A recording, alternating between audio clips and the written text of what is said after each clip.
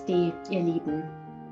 Heute möchte ich mich mit einer ganz persönlichen Botschaft an euch wenden. Erstmal vielen lieben Herzensdank für die zahlreichen Glückwünsche und Gratulationen zu den 10.000 Abonnenten. Es freut mich wirklich sehr, dass jeden Tag die Zahl derer wächst, die sich vor allem die Tagesimpulse und die Channelings anhören und nicht nur anhören, sondern dabei sind und wirklich aktiv und bewusst gemeinsam mit allen lieben Verbundenen die Bewusstseinsfelder für diese neue Zeit, für den Frieden, für die bedingungslose Liebe einfach gemeinsam gestalten. Und habt so lieben Dank für die vielen Kommentare und diese liebevolle Wertschätzung und ja, all die vielen lieben, wundervollen Worte, die mich jeden Tag erreichen durch eure E-Mails, durch eure Kommentare. Es freut mich und berührt mich wirklich sehr.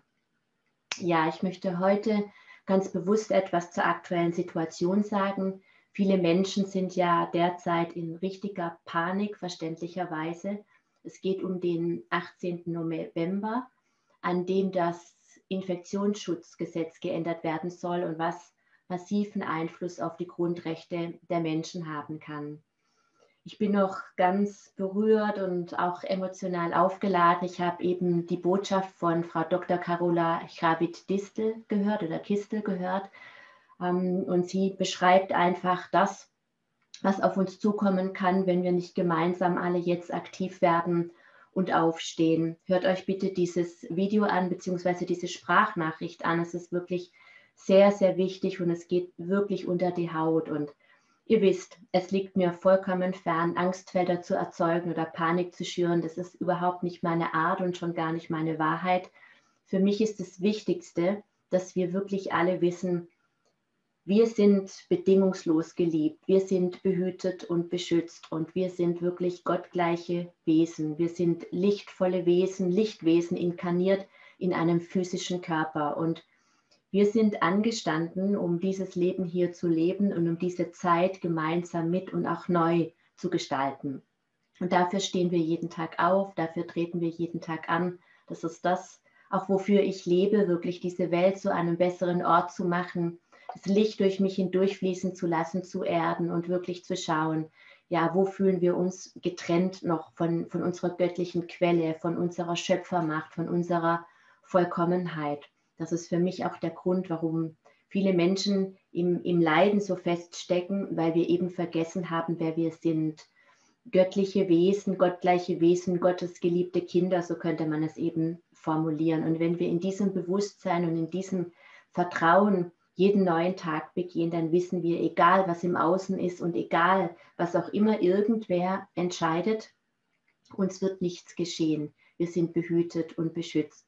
Und ich glaube auch wirklich, dass jeder seine eigene Realität erlebt, gerade in dem, was jetzt ist.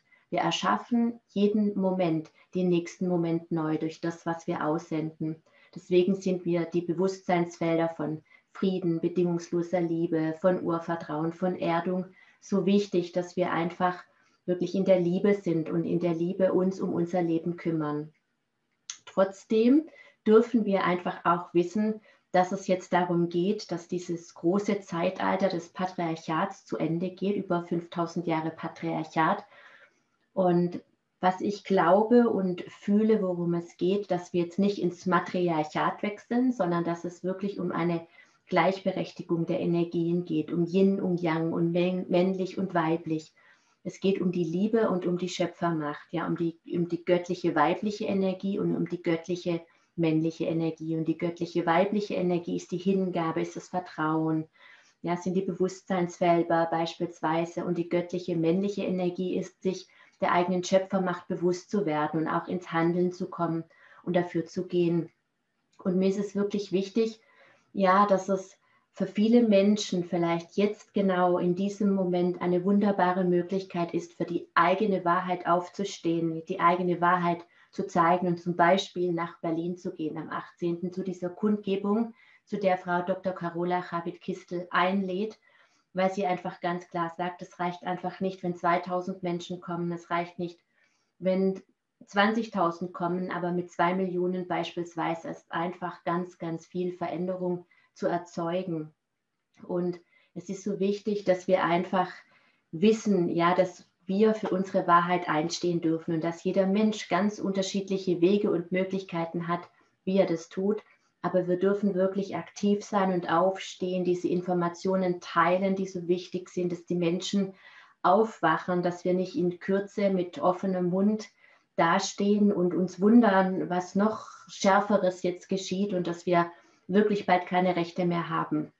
Und von daher ist mein Ansatz wirklich der, wenn du die Möglichkeit hast, aktiv etwas zu tun, zum Beispiel nach Berlin zu gehen oder diese Botschaften zu teilen, was auch immer in deinen Möglichkeiten ist und wirklich in der Liebe und im Frieden zu bleiben und diese Bewusstseinsfelder mitzugestalten, ja, weil alles ist Energie und alles ist Resonanz. Das Stärkere dominiert das Schwächere und gleicht es sich ihm an. Und wenn die Liebe und das Vertrauen größer ist als die Angst und die Manipulation und die Kontrolle, ja, und die Liebe ist die stärkste Energie. Und je mehr, wir unsere Liebe zeigen und leben auf unterschiedlichste Art und Weise, jeder so, wie er das kann. Ja, und wir können wirklich in Liebe aufstehen und in Liebe unsere Wahrheit zeigen, friedvoll, friedvoll und in Harmonie und uns verbinden mit Gleichgesinnten an einem so wichtigen Tag. Und das können wir wirklich tun, indem wir unser Licht und unsere Liebe nach Berlin schicken an diesem Tag und den Frieden und ja wirklich dieses Einheitsbewusstsein einer Welt in, in Frieden und ja im All-Einen und in der Verbindung in, und in der Liebe visualisieren. Und gleichzeitig können wir das auch tun, wenn wir die Möglichkeit haben, indem wir nach Berlin gehen und dort aktiv unsere Liebe, unser Licht und unsere Wahrheit erden. Und ich möchte dich einfach einladen, heute darüber nachzudenken, was du aktiv tun kannst, was du tun kannst in der Hingabe und was du tun kannst in der Schöpfermacht. Denn wir dürfen beides vereinen in dieser Zeit. Ich danke dir von ganzem Herzen, dass du mir zugehört hast und ich bitte dich wirklich auch diese wichtige Botschaft von dieser wundervollen Ärztin zu teilen und all die vielen Informationen, die draußen sind. Je mehr Menschen informiert sind, ja, umso mehr Menschen wachen auf und umso höher wird das Bewusstsein für unsere wundervolle Mutter Erde in Liebe und Verbundenheit. Namaste.